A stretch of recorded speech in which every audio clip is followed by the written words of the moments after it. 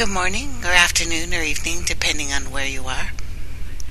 We've got a lot of news today, and before I get into the news specifically, we need to speak of a few things as a disclaimer, if you will.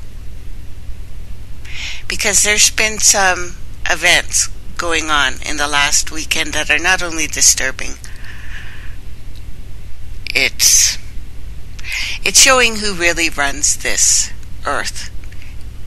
Because I realize most of my listeners are very aware, but it's obvious that our brothers and sisters out there really aren't getting it because they're arguing about the same sense of diversion.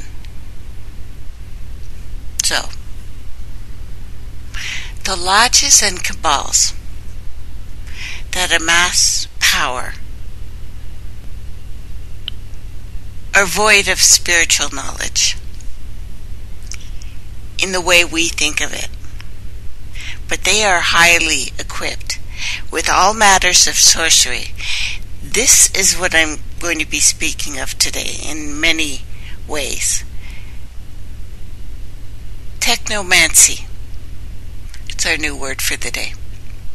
So people will not see balance until they reactivate their ancestral powers based on facts, experience, geometry, mat, which is math, and a very real imagination rooted in truth. It is intention and manifestation that gives a culture the ability to have an ancestral home, astral and ancestral. To go to where they leave physical planes rather than returning to one that has been designed without our growth in mind. It doesn't matter what the program society chooses to do. It is about what frequency you are on and how much you are progressing on your own very personal path. What we are doing is providing as much knowledge as possible based on experience as to what is best and what is the best things to focus on with all things considered. So, as a master, you must avoid getting trapped in others' fruitless, ridiculous realities. Even if that reality appears to be as big as the world, everything in such worlds are magic, except the magician.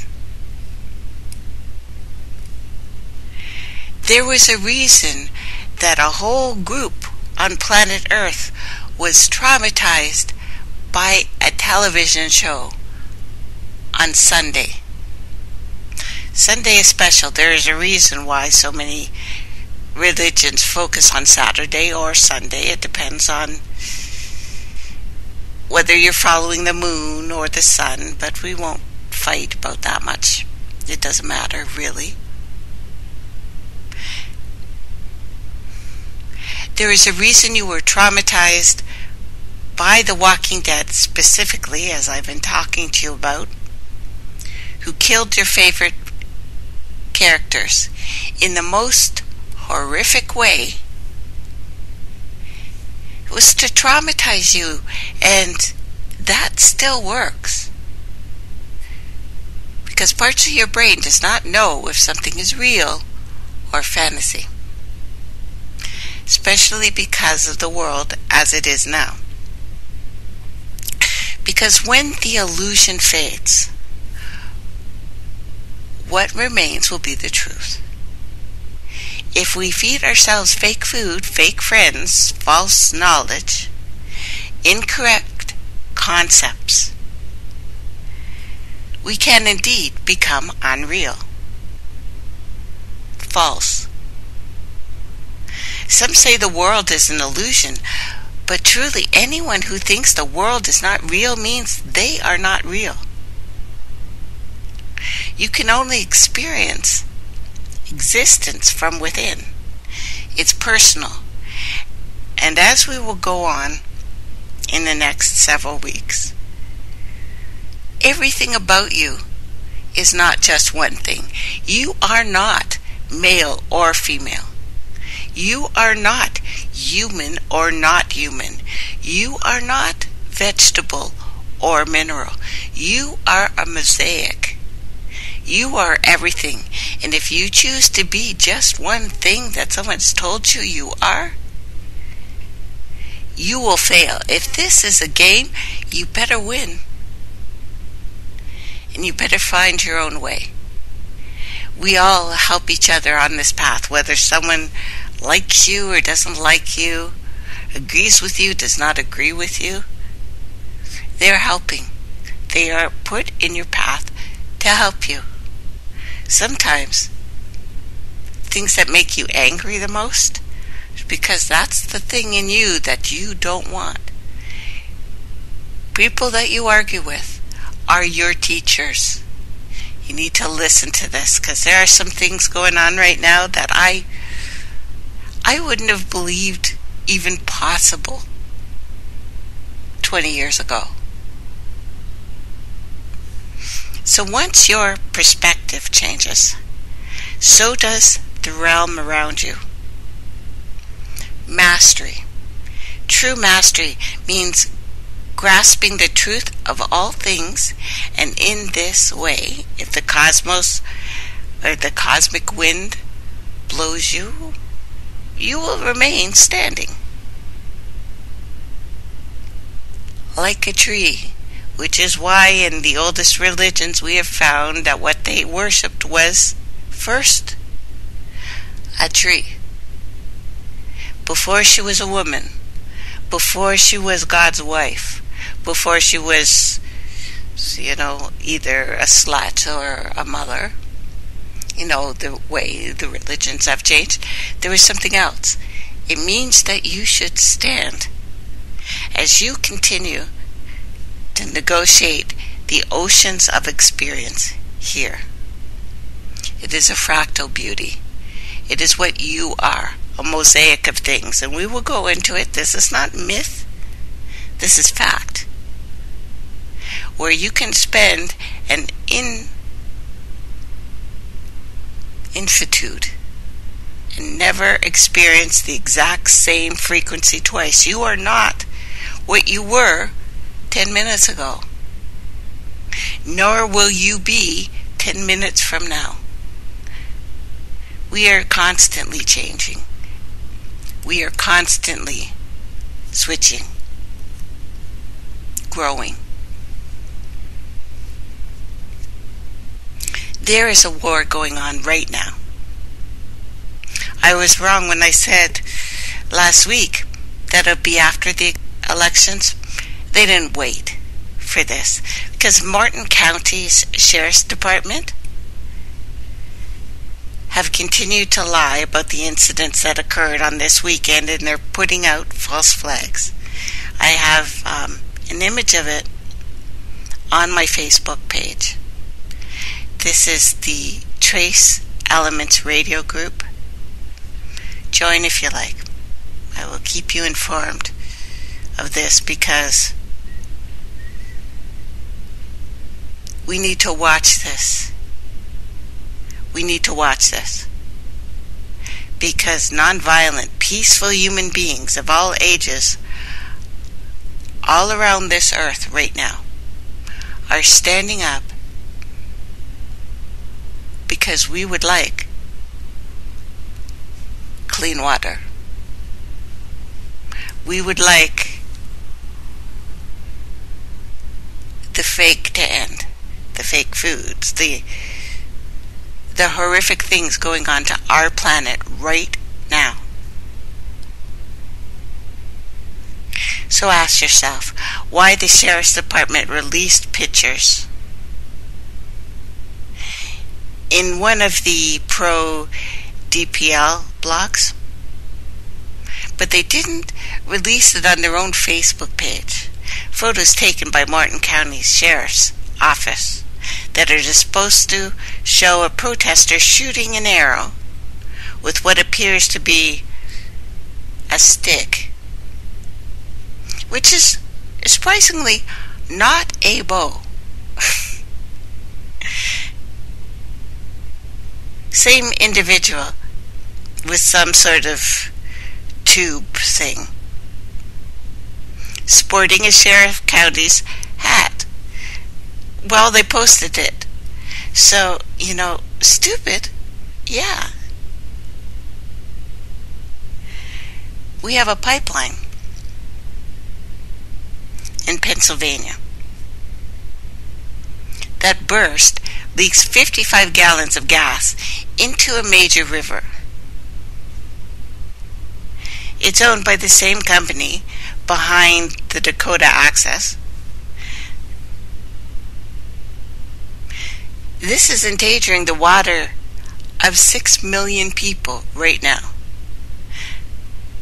So, managed by Sunoco, Demon, by the way. I'll tell you the the origins of Sunoco one day. We'll do a whole thing on it. Let's hold that for now. It's a bad word, put it that way. Logistics. Well, it burst Thursday last week after heavy rainfall in Pennsylvania. The spill dumped gallons of gasoline into Wallace Run. It's a tributary of um, the Loyalsock Creek that drains into um, Susquehanna River. The breach was detected at 3 in the morning when the pressure of the pipeline dropped suddenly. Sunoco eventually shut down the pipeline but uh, uh, way after it had already spilled. Spilled. You know, this Susquehanna had previously been declared the third most endangered river in the U.S. It has come under threat due to development of natural gas industry, particularly the practice of hydraulic fracking, fractioning, I think it was called, but you know, it's fracking. Fracking has caused major problems worldwide due to the so-called Cheney's loophole that basically exempts natural gas companies from vast majority of U.S. environmental regulations. There's something like this in every country in the world right now. A loophole to get out of prosecution. Many other rivers are endangered worldwide because of this practice. So, American Rivers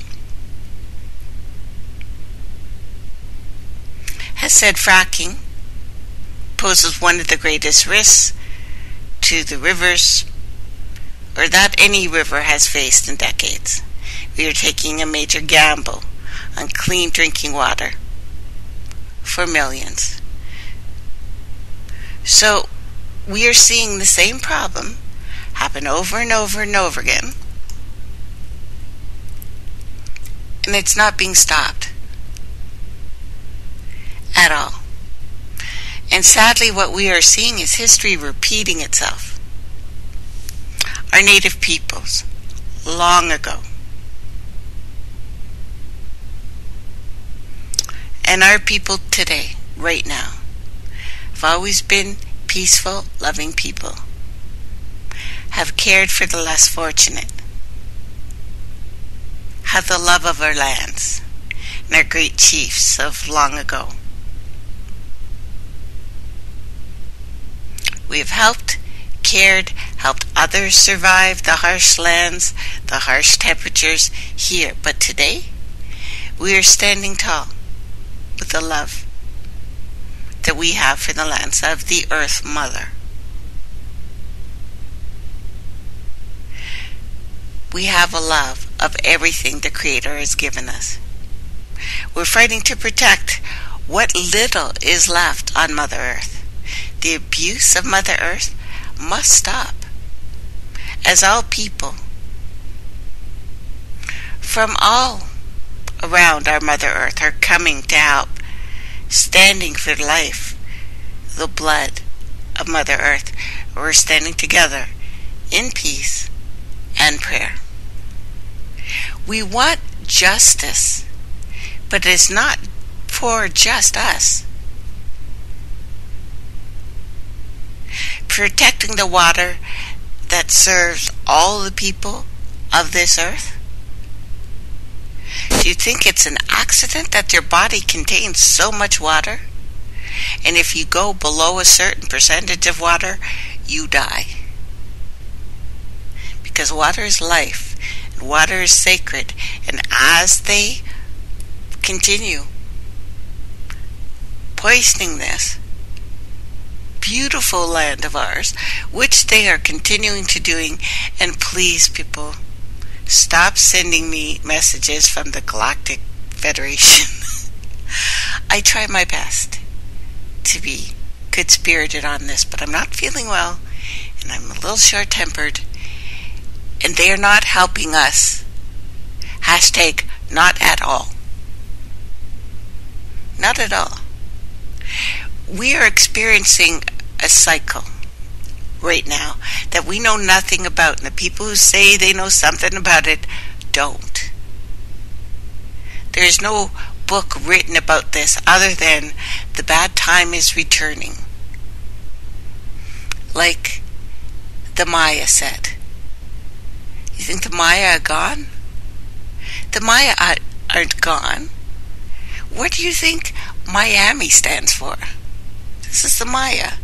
The Creek Indians are the Maya, by the way. Half of their language is Mayan. Not from the northern tribes, but from the southern tribes, Yucatan tribes, that say the exact same thing. The eagle and the condor, which I've been asked about, well, it's the Creek tribe. it would it would take it would take the government of America allowing for digs in um, Georgia, which have proven actually about 10 years ago that that's who they are because there are there are tablets with writing on it and temples with the exact same circular patterns going to the top that are Mayan that said that an asteroid hit, that we were warned because there was a series of sinkholes that happened. That's why the Mayans had to go out of their big cities. And that it would come again. The return, the eagle and the condor. They never actually split up. We moved. People move. And there are disasters happening on every single planet in the solar system. Disasters? Well, kind of. Big, big changes. Give, give me that. Now, something has changed. Saturn's mysterious hexagons has changed from blue to gold. No one knows why. Absolutely, they can't guess. So it's like nothing we've seen on any other planet in the entire universe. Ever. And now the mysterious structure on Saturn's North Pole just got weirder. In just four years, Saturn's hexagons has changed its color from blue to gold. Now, at first, I would say this just means there's some weird off gassing. But so far, our best guess as to why this change occurred is that this is what it looks like when Saturn's North Pole gears up for the next summer solstice. And we need to write this down. If they are telling us it's for the next summer solstice, that means next summer solstice is going to be a game changer. Now, this was discovered 30 years ago. Saturn's hexagon, six faced, six sided structure that spans roughly 20,000 miles, so 32,000 kilometers in diameter, extends about 100 kilometers, about 60 miles, down into the planet's dense atmosphere. As observed by NASA's Voyager and Cassini spacecraft, each point of the hexagon appears to rotate at its center at nearly the same rate that Saturn rotates on its axis. Along the rim of this hexagon, a jet stream of air is blasting eastward at speeds of around 200 miles an hour, so 321 kilometers per hour. So, based on its size and its movement, scientists have thought that it's a vast cloud generated by a gigantic perpetual hurricane spinning at the center of the planet's north pole. This storm has been raging, raging for centuries. But that's a guess, we don't know. 100%. So while we're they're pretty confident that they know what the hexagon is.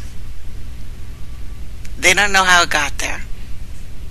And once you start a giant whirlpool of air, it's relatively easy to keep it spinning, I guess.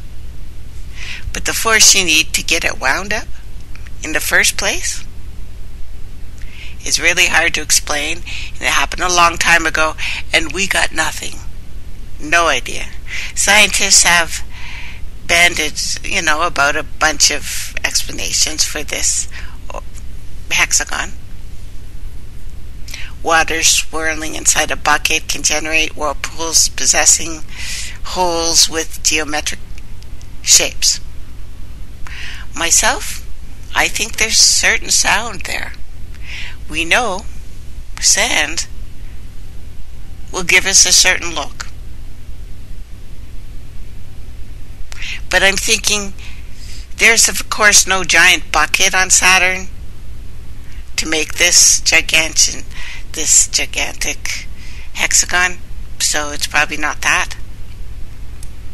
But it's something, right?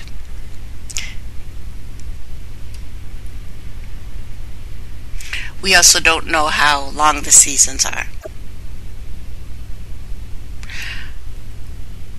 With a year that lasts 29 Earth years, Saturn's changes seasons only once every seven years ish. Increased in sunlight over past three years maybe made the golden hue. I don't know. But NASA, who, you know, makes me laugh, says the color change is most likely seasonal, so they're regurgitating everyone else's ideas. So, in particular, the change from bluish color to gold may be due to the increased production of some sort of photochemical haze. So, like I said, it's a, it's a freaking chemical. So, you're telling me that the best you got is what I just made up. Thank you, NASA. So, anyway, the atmosphere in the North Pole is going to hit their summer solstice in May 2017. We don't know. But it's changed.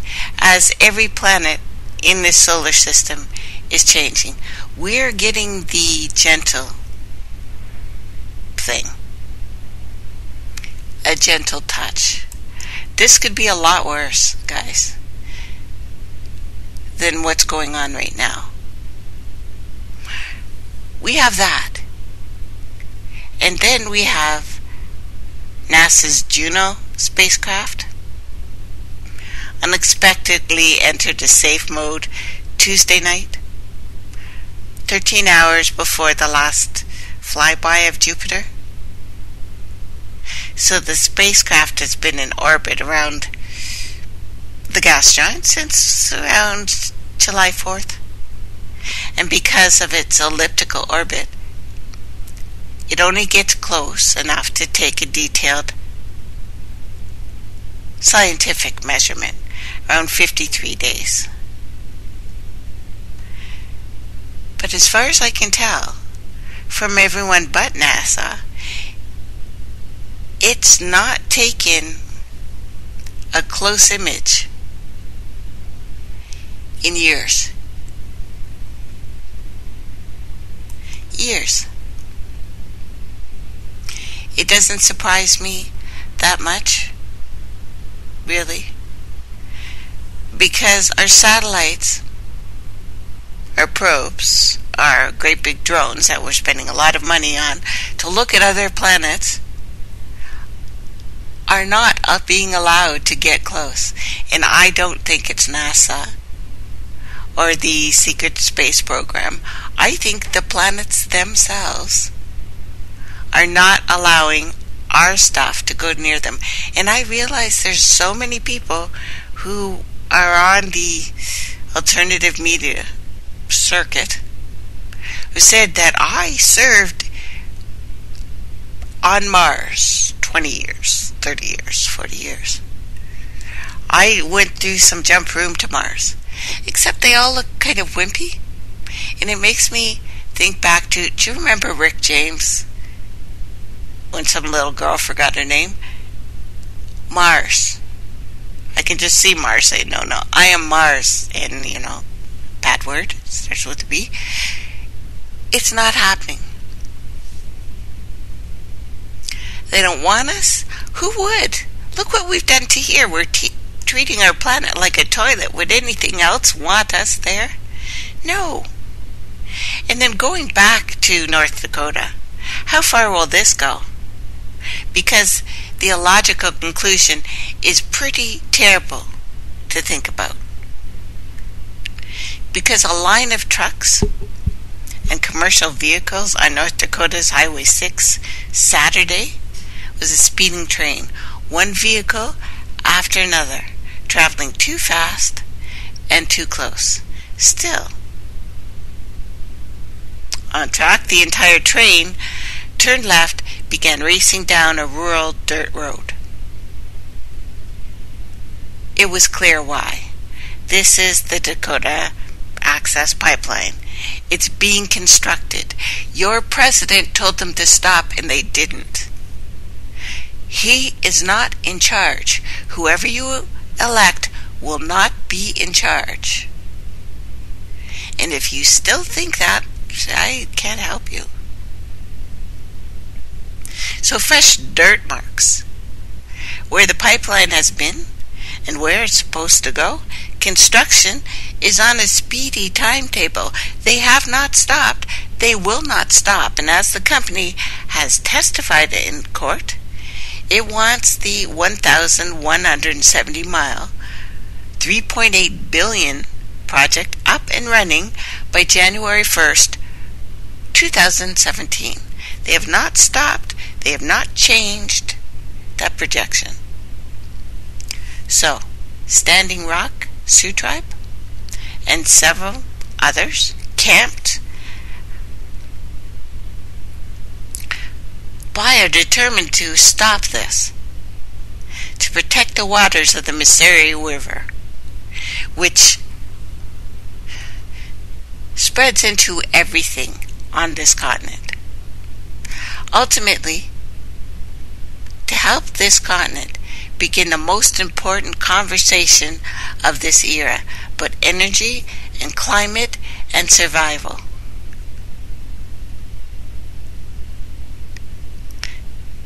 Because from Paris to Standing Rock, it's about what we are doing to the planet and what will happen next. So the machinery of the state of North Dakota has been engaged to stay on schedule. And to be clear, North Dakota is acting as a trustee for the company, using what it considers the power of state to make this project so. How far will they go? Look at where it's been. The state has been the ally instead of a referee, helping to craft a regulatory approach that avoided regulation. This is the crazy notion that the company did everything it was supposed to do, so leave them alone. Yeah. Because the plan was to avoid pesky regulation right from the beginning. It's much more efficient to be governed by official winks instead of anything about environmental impact or even a statement thereof. And even now, the Dakota Access Pipeline figures the state, with its allies, will give in and sign the final paperwork. As the Energy Transfer Partners attorney told the entire court, the status quo is that we're in the middle of building a pipeline. So, according to Oil and Gas 360, the next step is for the ETP to require easements to drill the pipeline under a lake. Lake Oahe, I think it's called. So, in the most probable scenario, the corpse, interesting term, means dead body. It's again about their spells and their necromancy. It will grant permits while the district court litigation will continue. The ETP would likely get notice on easement status by the end of October. It'll take 60 days to drill under the lake with a full crew and no major disruptions. No worries. The state's machinery is supposed to make it, so how far will they go? They've tried intimidation, humiliation. The number of arrests is increasing. The native women being taken are strip searched, humiliated.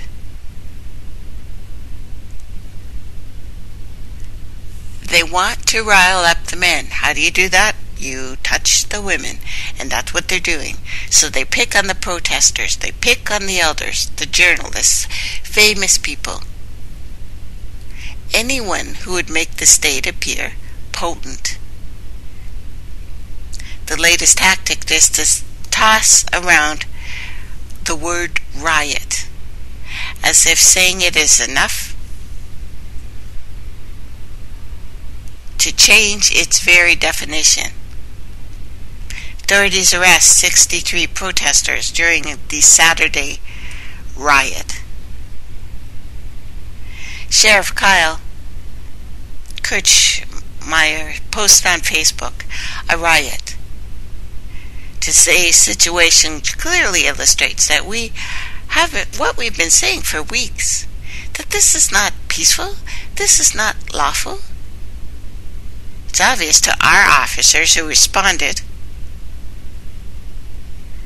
that the protesters were engaged in escalating unlawful tactics, behavior during this event. The protest was in initially or intentionally coordinated and planned by agitators. It's agitators. It's bad guys. Scary brown skinned people. So, what's extraordinary about that statement is the sheriff's own pictures show a peaceful protest. As Mel Brooks once wrote in Young Frankenstein, a riot is an ugly thing. This was not an ugly thing. The key phrase in the sheriff's words is fuel for the state's machinery. The words,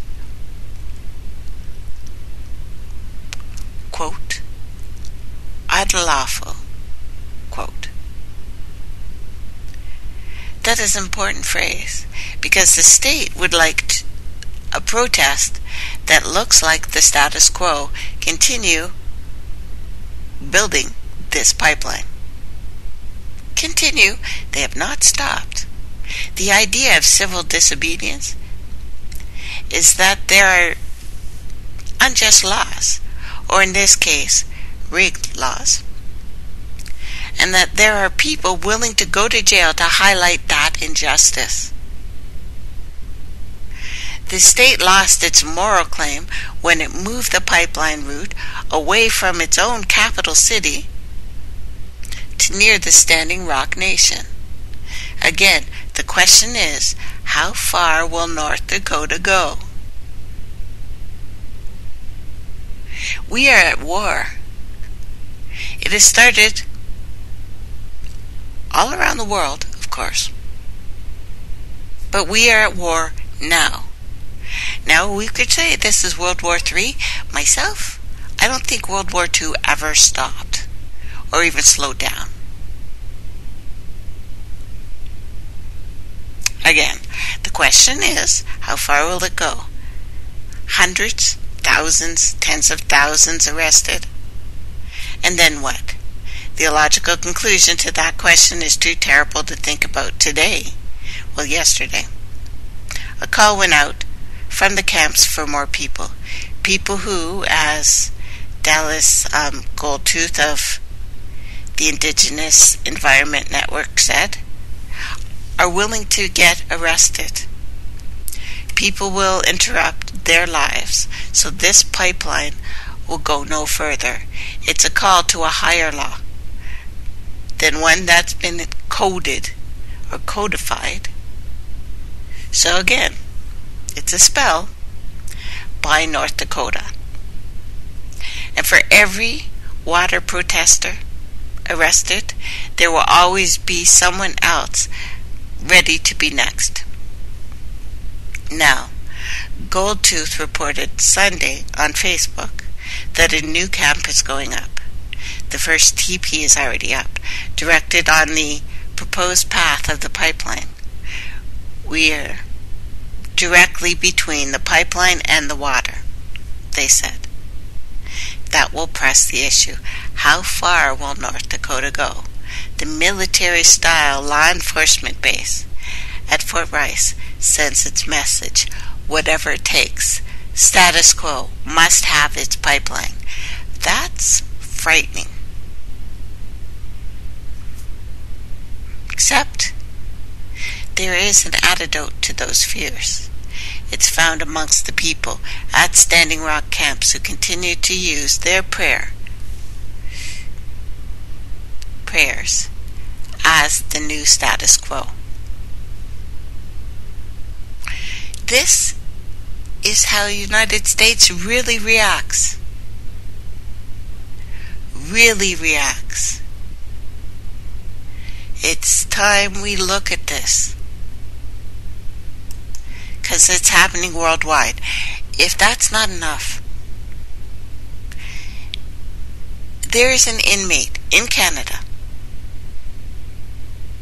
who's been in solitary confinement for four years.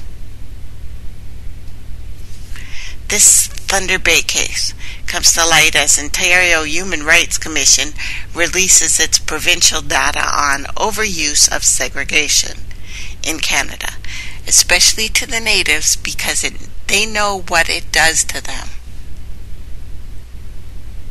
They do.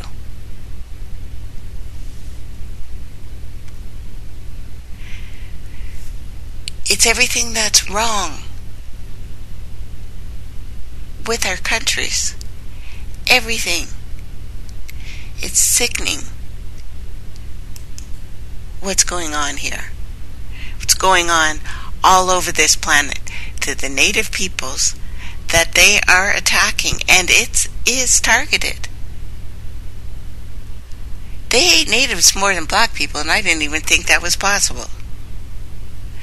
Now, no, in the upper realms of people who actually have power on this planet, like real power, I'm not talking about presidents or prime ministers or even kings and queens. I'm talking about real power.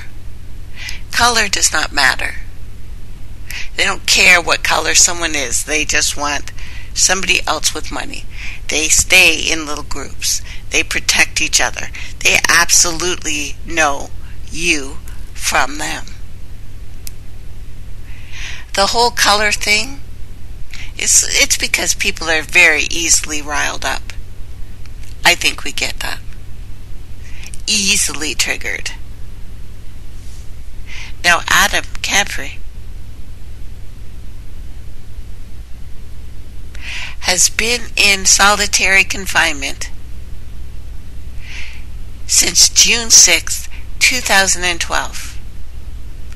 He has never had a trial. You need to learn his name. He's a living symbol of everything that is wrong with prisons, with the justice system, with its treatment of indigenous people. There absolutely is a difference between how people of color are treated. Because we are minions to them. They don't care about us. They want us constantly fighting. And the more native people they can kill, the more power they have over the land because people don't understand their connection to the land. You can hear them talk about it. They want to be alien. They want to talk about how they're from another cosmos. Your little butt is from here, people.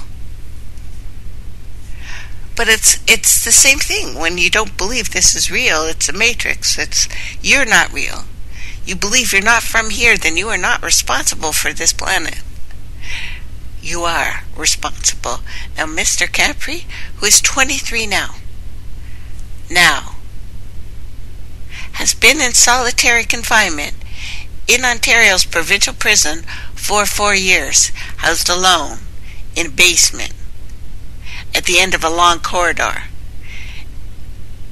in a cell wrapped in plexiglass. The lights are on 24 hours a day. He doesn't know if it's day or night, so they've had him since he was 19. When Renu Mandhane Chief Commissioner of the Ontario Human Rights Commission, visited him last month. She was prepared to have memory and speech problems brought on by prisons officials, but the fact that this is going on and hasn't been stopped, we don't know how many people are being kept like this. The only thing the Ontario prison officials haven't done to this poor young man is shackle him upside down on the torture wall. But they may as well have. He is being tortured by the state. The sensory deprivation caused by constant light is an acknowledged torture technique. The United Nations says that holding a person for more than 15 days in solitary itself is torture.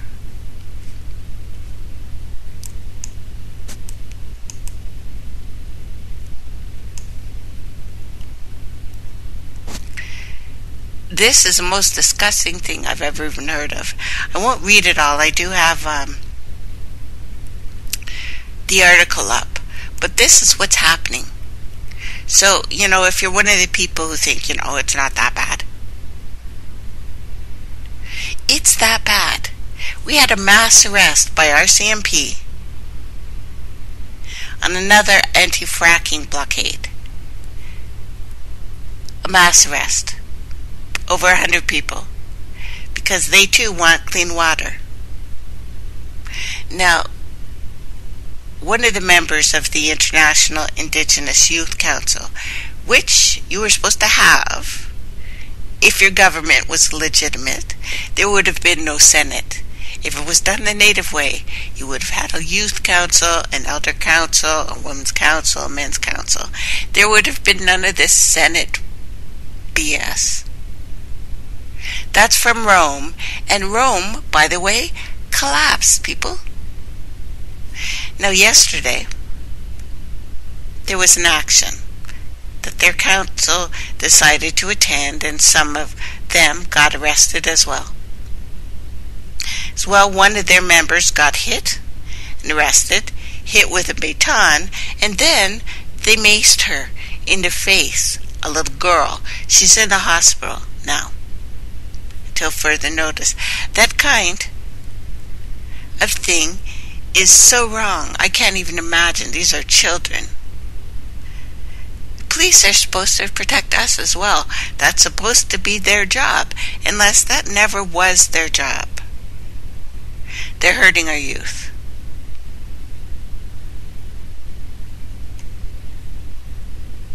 This is the planet. You know, the filmmakers that decided they would get in the way. Well, basically, they taped oil pipeline protests that we're talking about. They face felony charges that First Amendment advocates say are part of the growing number of attacks on the freedom of the press worldwide. So, two filmmakers are facing decades in prison for recording U.S. oil pipeline protests.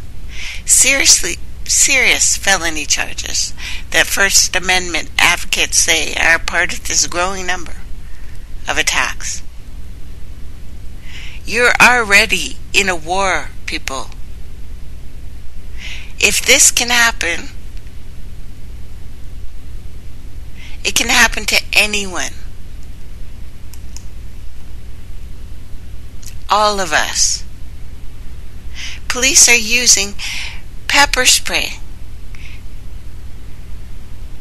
They arrested 83 people who were praying. They were praying. They're praying actually for safety and protection and, you know, clean water and that the pipeline will stop. It won't stop. It won't. The police are dressed like a freaking Darth Vader. But what they're doing is attacking kids and elders and people dancing. Military tanks are going to the camp. They are having more things on the ground here. It's like it's Iraq. You know, I talked about Chiraq, Chicago, what's going on in Chicago before. This is what's going on in the native communities. And this is not one isolated incident. The Mohawk Nation is now threatening. I'll use the word threatening, but when the Mohawk Nation says they're going to do something, they're going to do it. To do everything legally in its power to block the Energy East pipeline project they said it's a threat to their way of life. It's a threat to our way of life. If you would like to continue living on planet Earth, because, by the way, if some alien wanted you, you'd have been born there, not here. Now, despite the perceptions of the opposition,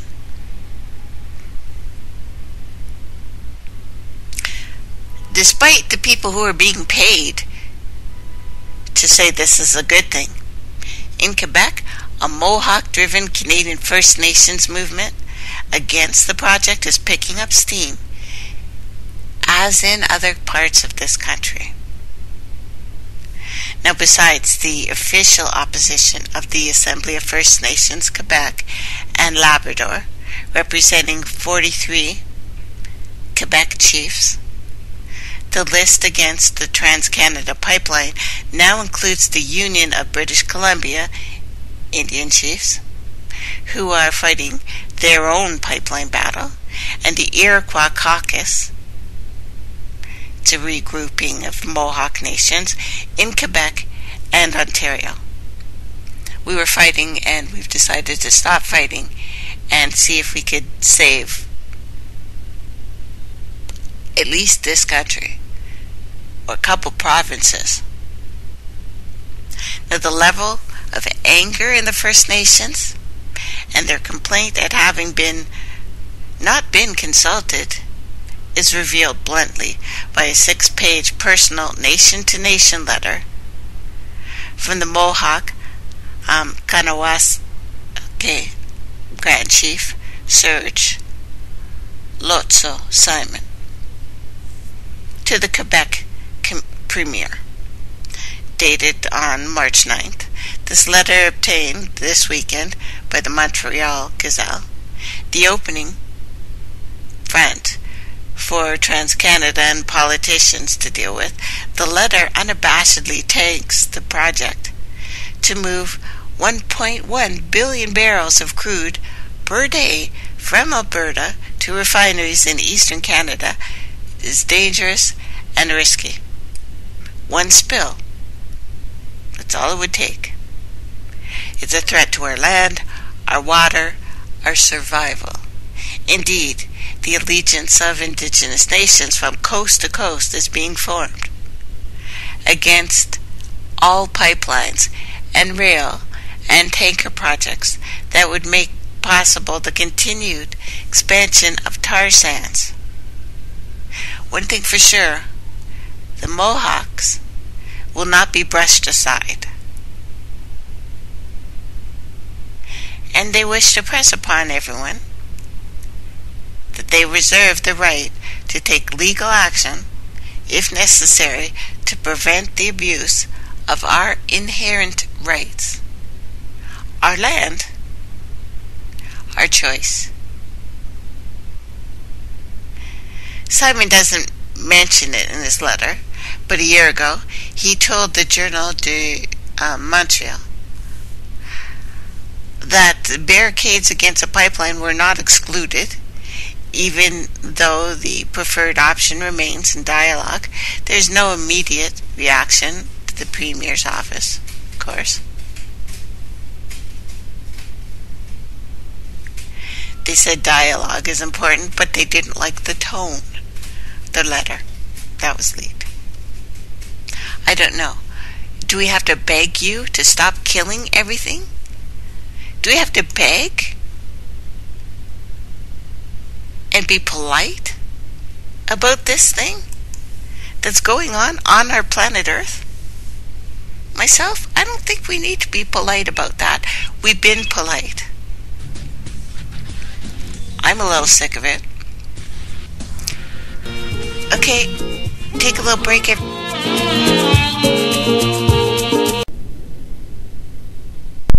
Okay, I'm back. Sorry, guys, takes me a little longer. Now, people are being bullied, guilted, pressured, controlled, intimidated, terrorized, and browbeaten into voting. But in an oligarchy, voting is a tool to manufacture the illusion of your consent. If we've learned anything so far from 2016, is that people do not understand their government. Perception is some of us think we have a democracy, and that in this democracy, we, the people, have vested power in our government, which we exercise through an act of voting. Throw the what bastards out has long been the war cry of the impotent Democrat, yet we no longer have a democracy to cling to. And it's although most people have chosen to ignore this fact, this is a fact of life that has been visible for decades.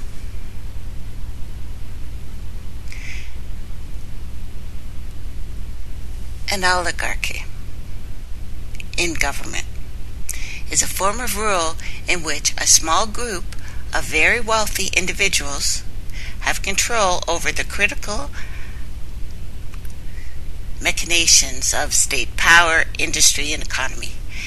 These people are unelected, unaccountable, and they exercise control on behalf of their financial interests, drawing on productive power of a nation to support their lifestyles and the geopolitical ambitions. United States right now is fighting four wars. If we don't include the one it's fighting on its own land. How do you ignore that? How do you not see it? Did you want to fight these wars? I didn't. I wasn't asked. They won't ask us. They won't ever ask us. A ruling class, which may actually be completely computer controlled right now, like Facebook is. This is admitted. This is not fantasy anymore.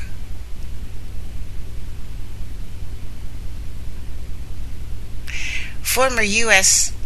President Jimmy Carter has recently made the comments to this effect, telling Oprah and her audience that it's now just an oligarchy. These are two warnings of decades of comments and public admissions by former presidents, key political figures, warning us that not only our country, but this planet has been taken over by financial interest groups and technology.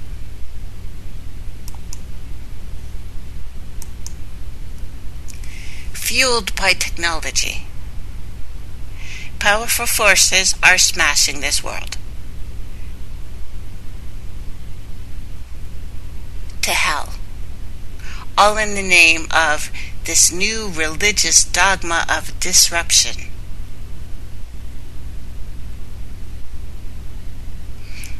Nothing is safe. Not your home, not your job, not your family, not your community, nor is your future. Not even reality itself, it seems.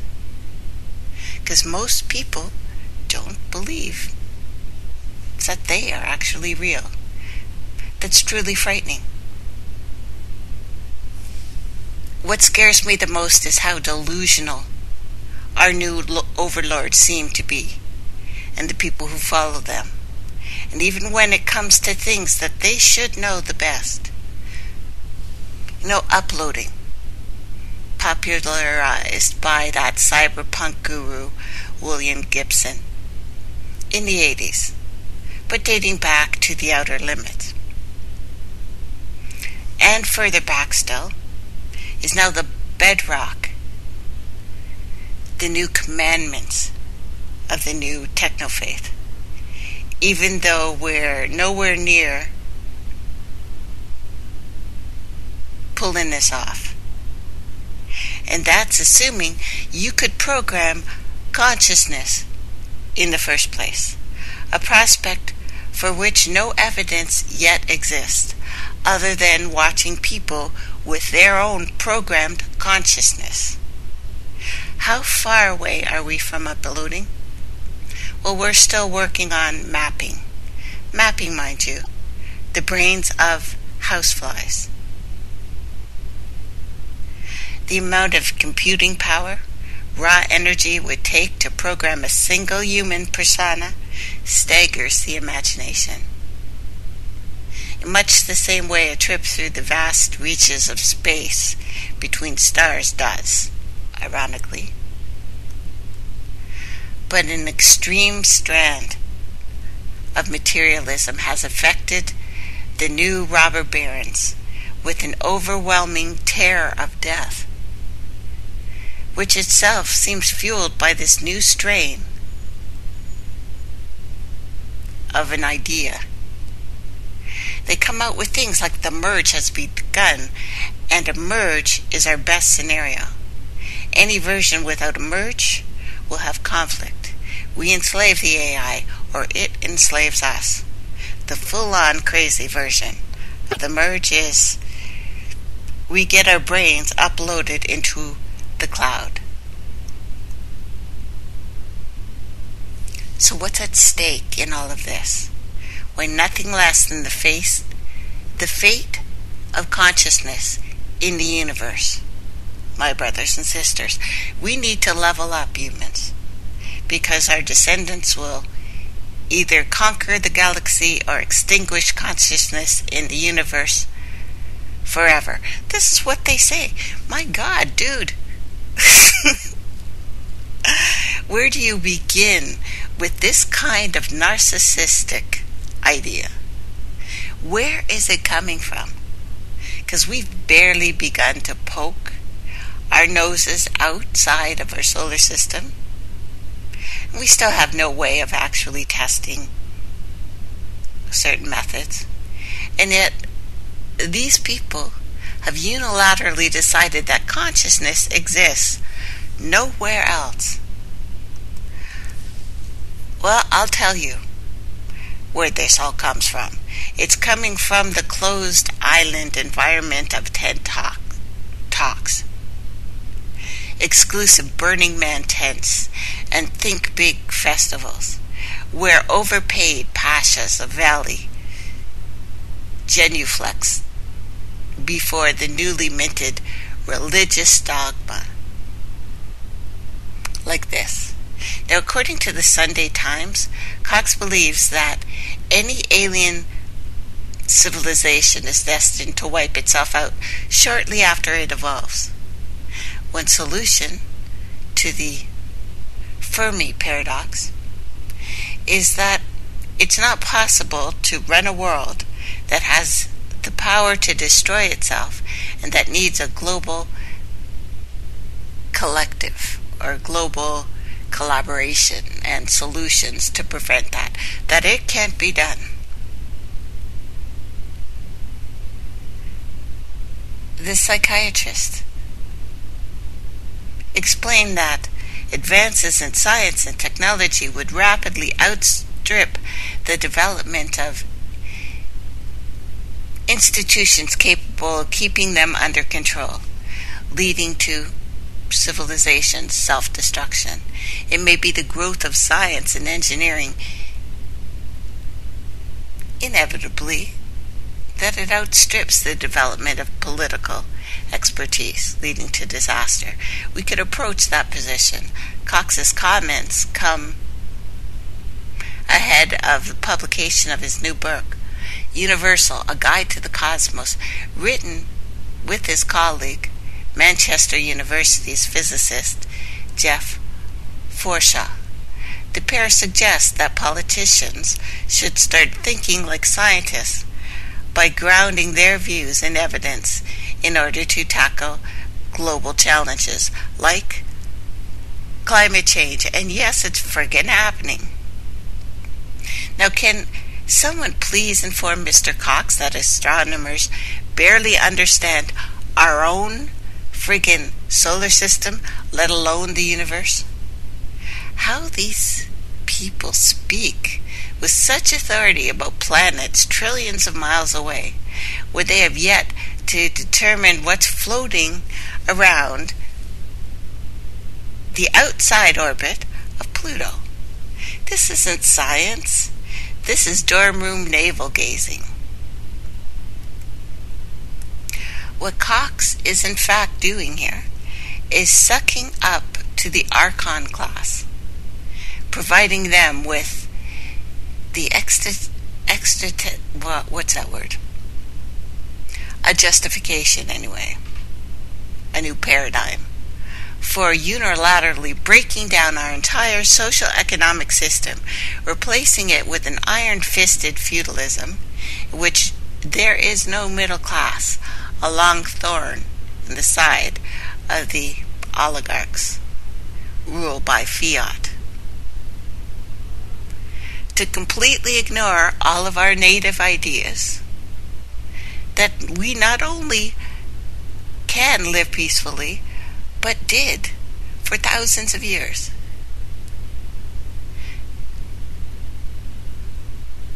Because if we don't fight climate change, there goes the entire universe. My God.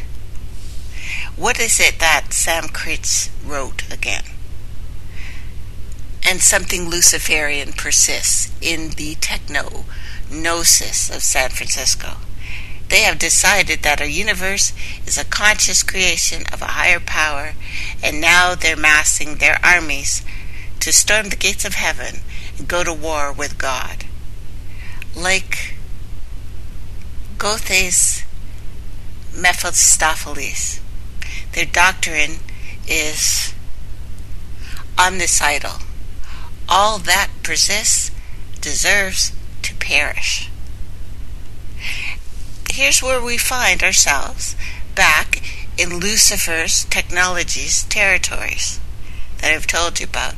And in fact, all the strange new technologies say that we suddenly found one sultry summer morning in the Mexican, well, New Mexican desert was in fact a Trojan horse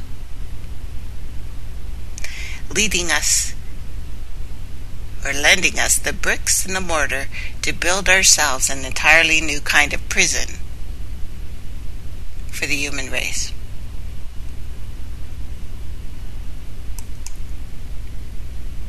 What did we find? The land of enchantment. Bell Labs. Spirit of communication. The genius of electricity this Lucifer archetype has been associated with knowledge and technology since antiquity. In a positive life, we have the Prometheus myth. Darker sense, Satan, tree of knowledge, in the myth of the fall. Which side of this powerful archetype will triumph in the future? The events in Roswell, July 1947 did not happen in a vacuum. They occurred within one of the most extraordinary periods in human history, particularly from an esoteric point of view. They would spark a chain of events that would change the entire world. So much technology that we take for granted today emerged from America's telephone and telegraphs Bell's Telephone Laboratories, or Bell Labs for short.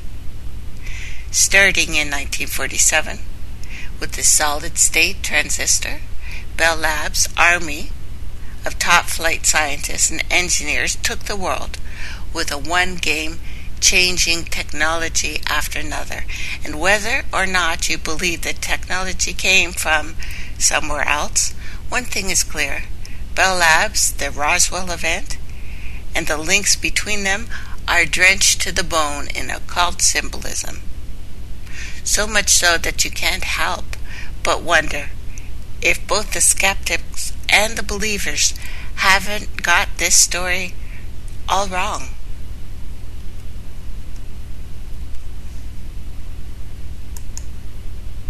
Because I think so.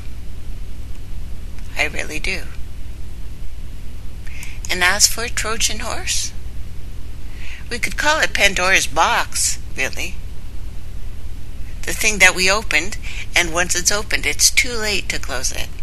Now, suppose we are living in a multi dimensional time track with the same space, including young, a very young,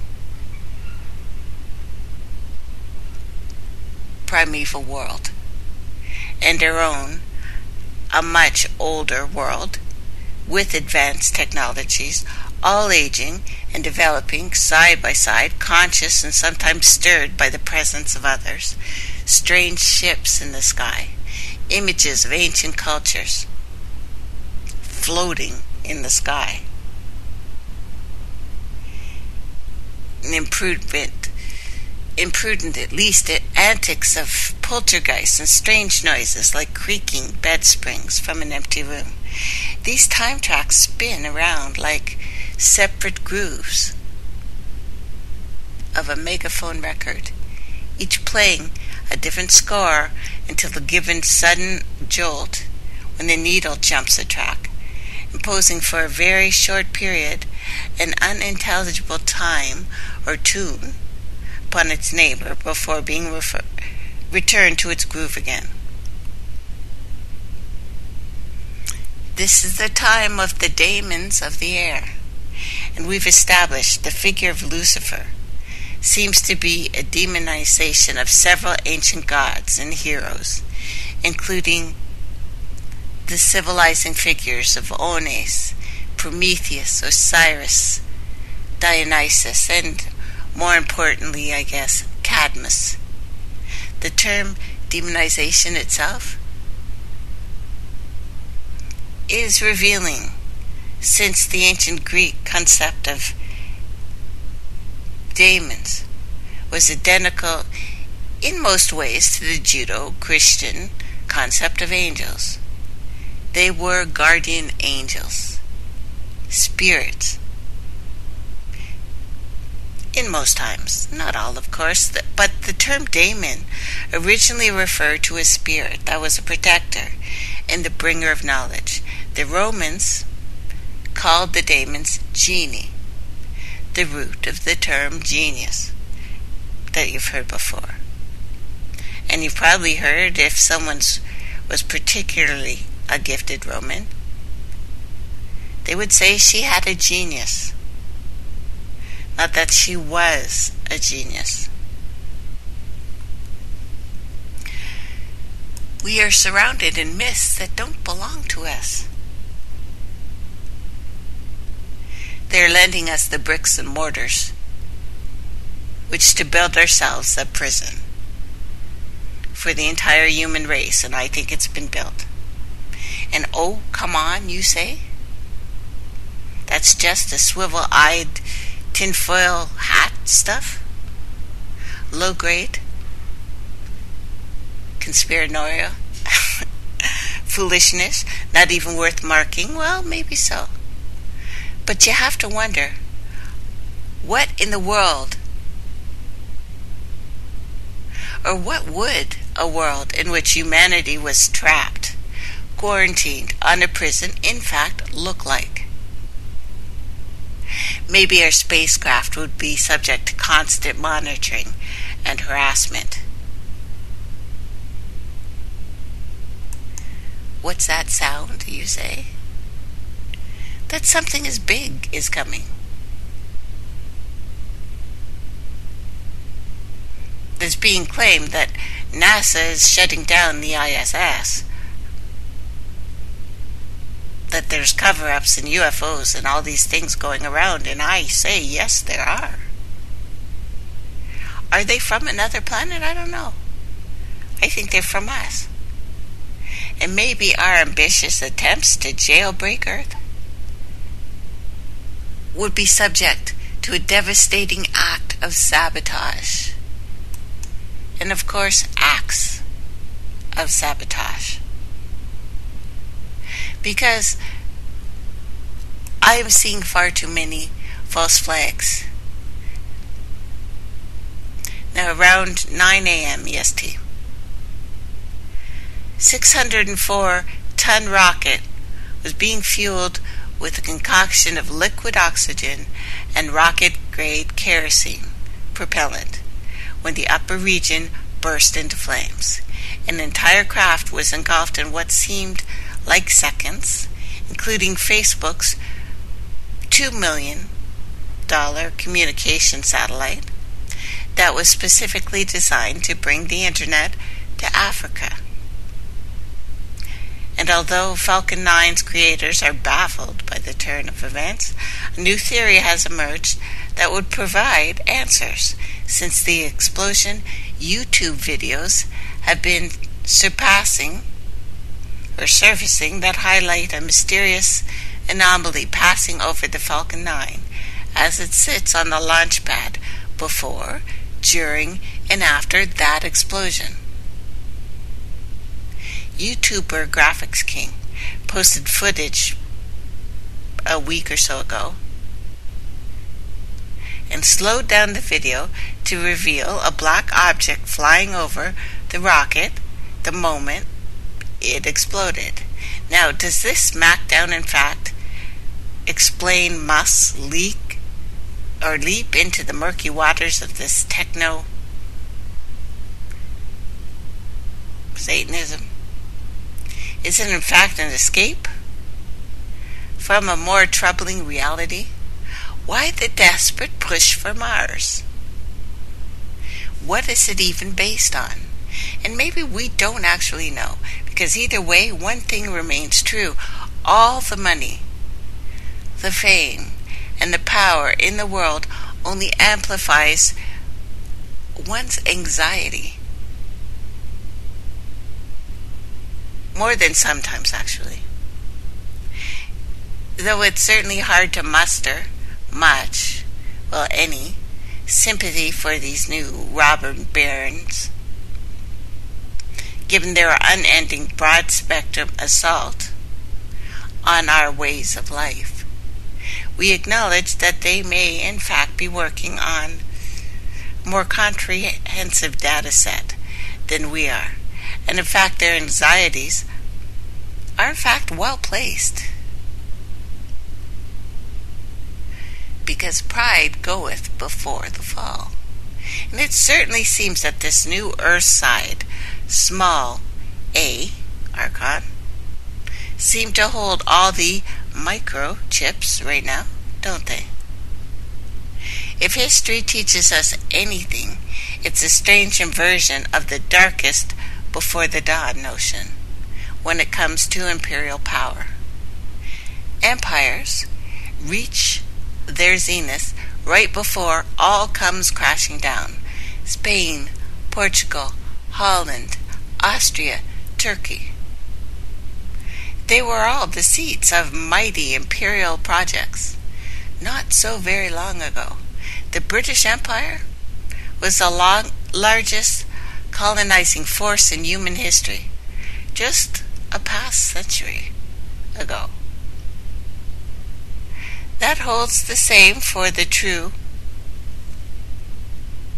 conglomerates as well as countries, for bankers as well as bloodlines. Similarly, the new archons of the valley might want to take a good look at the old car- archons of the valley. Remember AOL? AOL, the undisputed overlords of the online world?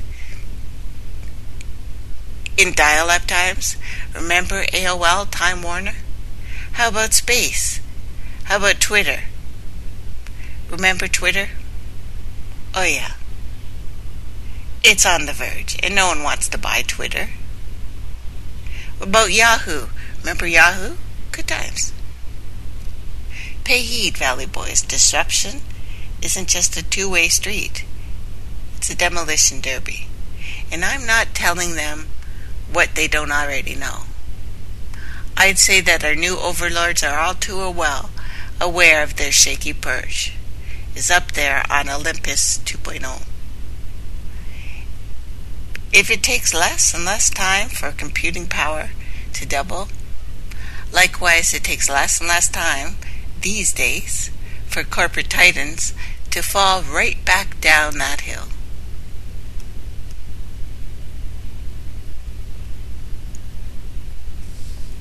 like Sisyphus and his stone.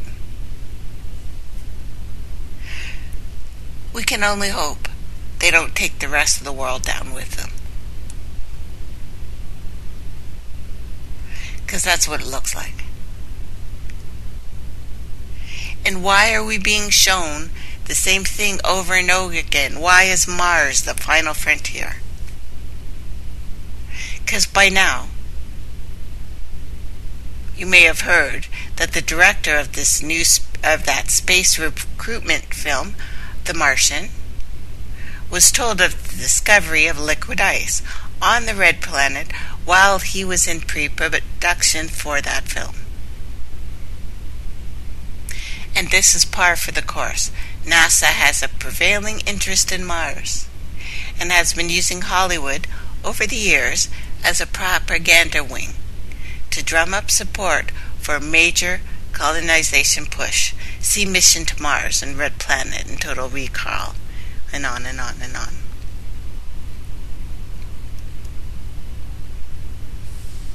The sci fi director Ridley Scott, the man behind Matt Damon's The Martian, wasn't surprised by NASA's recent findings of water on Mars. I bet he was not. Now, speaking to Yahoo Movies, the Alien and Blade Runner veteran said that he knew about the discovery months ago, before anyone was told. That when he first talked to NASA, we get into all kinds of stuff. And as I said, so I know you've you've got down there these massive glaciers. And the NASA representative said, yeah, the massive white stuff thing on the surface of Mars gets colored with dust. We think that's ice. And I said, wow, does that mean there's an ocean? Are we right now? What Mars was 750 million years ago? And they went, um, good question.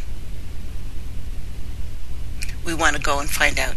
Those who've followed the Enterprise mission and from back in the day weren't surprised by this announcement.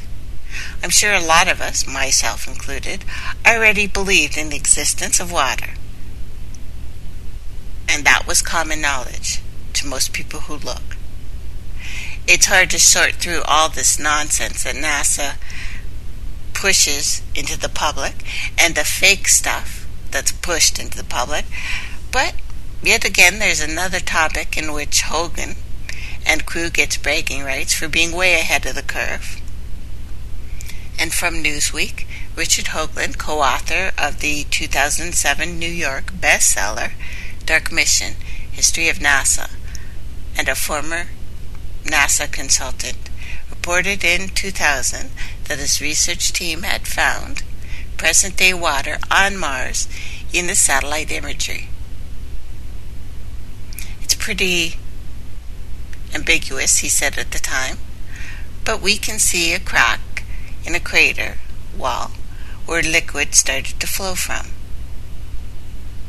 and follow a clear flow path down the slope of the crater mountain. The flow path is dark and it's wet, indicating may have been only hours old when it was photographed. Hoagland and his colleagues have been reviewing NASA's newly announced findings. They're dripping the information out to us very slowly. I wonder how fast things will go or can go.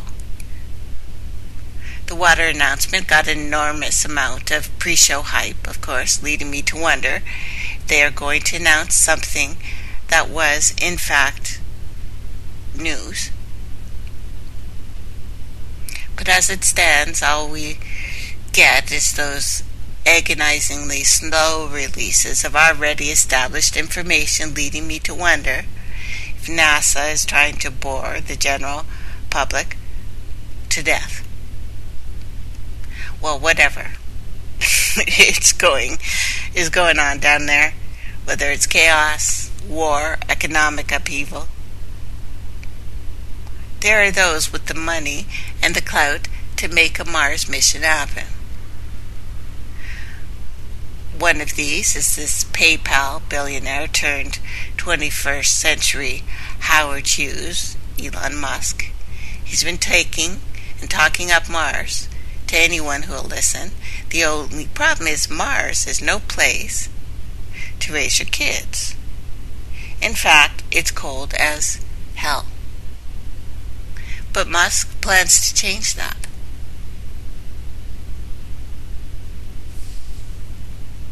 So Musk, proponent of traveling to Mars, noted that the red planet is currently a fixer-upper. His words. But it can't be habitable for humans. First, you're going to have to live in a transparent dome.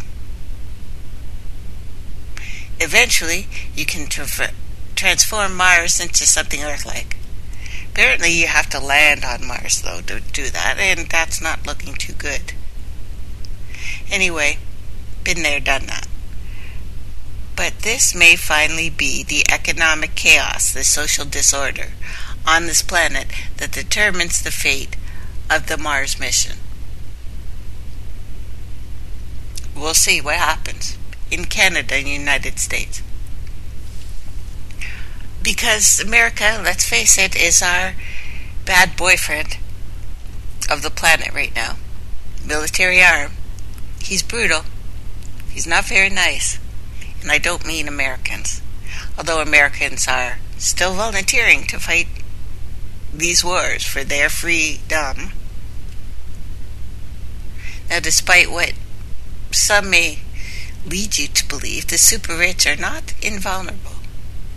In fact, they're getting increasingly nervous in the face of the economic chaos that they unleashed in their quest for fiscal godhood. They're always taken down. They are not superhuman. We always join together and kick their butts. And many of them are buying large versions of panic rooms in quarters of New Zealand in remote areas, and even some are even muling escape into orbit happening.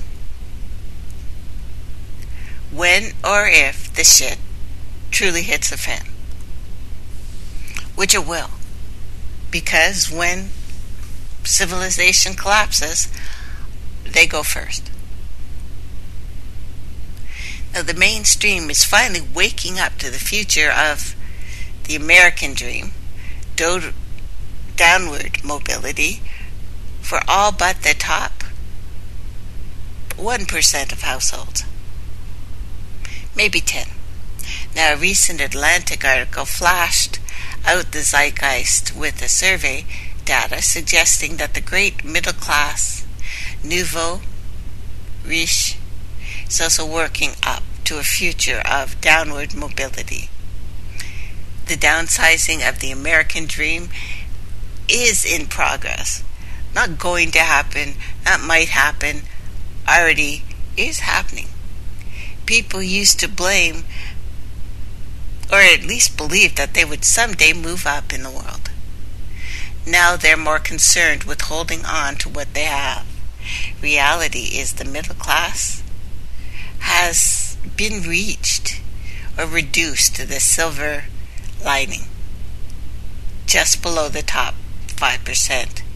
If we use standards, the populace in the 60s as a baseline, the downward mobility isn't just financial, it's a decline in political power, control of one's work, income producing assets.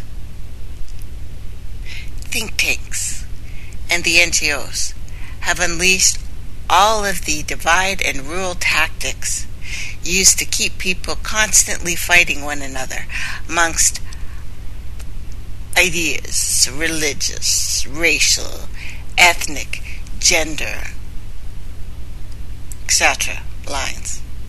Identify politics, political correctness, etc. But the 0.1% know all too well that one of these days some charismatic Spartacus figure will rise up from the mob and unite all the bickering identity groups against them. It is the prerogative of history, hence, escape. The escape hatches. But some elitists are looking for another solution. People who brought into utopia variety of futurism are all wondering what the hell happened spend a lot of time looking for scapegoats. He did it, they did it, those people did it. It's the men, it's the women, it's the Christians, it's the Muslims, it's, it's, you know, my left foot. Sociologists will place the blame on the shoulders of the great stagnation. The inevitable return to the mean period after there's a technology driven hyper growth. Moderns take technological growth for granted. But the plain fact is that most human, human history was essentially stagnant. 1776 AD wasn't all that fire different technologies wise. The BC and AD aren't that different. In fact, a lot of people would argue it was considerably less advanced in certain quarters. Philosophers would, well, throughout the Enlightenment, pinned or pined for the comfort and the splendor of Rome, forgetting that it was unknowable for all but a very select few.